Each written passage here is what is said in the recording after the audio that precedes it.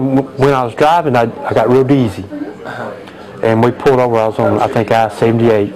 Well, I was pretty close to the hospital, but I didn't know it, you know.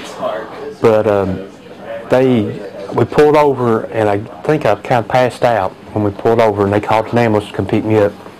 And they brought me to the hospital. But my blood pressure dropped so low that they had to give me some medication to get my blood pressure built back up and the blood vessels and everything in her hands and her feet are small. So it restricted the blood flow. Blood, blood didn't go to my hands or feet. It went straight to my organs.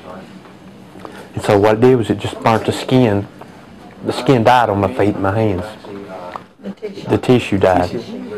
Uh, I did come to, and I had had my feet, and they was bandaged up. I didn't know what was going on. I mean, I had no clue what was going on. And I come to and you know everything's bandaged up, and I'm like, what's going on? You know, I got I got tubes. I'm on life support and everything, and I'm looking around. I, I don't have a clue what's going on. And then they came. My family was there. Then they unwrapped my feet and my hands, and, and I could see them. And they, my feet and hands were just black, where the tissue died. And it, you know, it scared me because I didn't know what was going on. And they was talking about ampu, you know, ampu, taking my legs off my hands and stuff. And that's a big shock.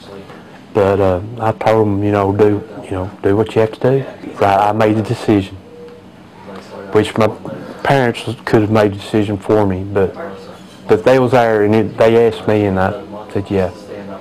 You know, I've got a, you know, there was a point in time when I was hooked up to the machine and stuff, and I'm I'm thinking, go ahead, God, just take me.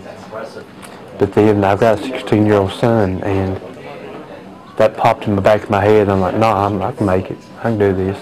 They thought they was going to have to amputate the whole hand, and they had a real good surgeon come in and they took skin off my leg.